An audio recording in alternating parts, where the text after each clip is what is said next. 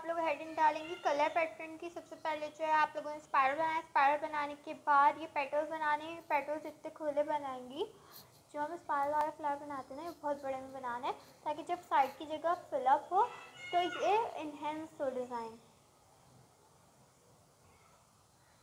हमने लीव्स बनाने लीव्स के शेप देने थ्री मतलब दो ऊपर और एक दो नीचे और एक ऊपर लीव आना चाहिए। फिर इसी से हम मिलाएँगे।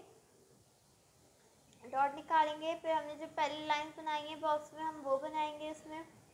फिर इसके बाद हमने दोबारा एक और डॉट बनाया, फिर साइड में हमने दोबारा स्पाइरल बनाया। स्पाइरल बनाने के बाद हमने फ्लावर बनाना है फ्लावर के पेडल्स बनाने हैं। इतने ही मोटे मतलब इतने ही खुले बनाइएगा।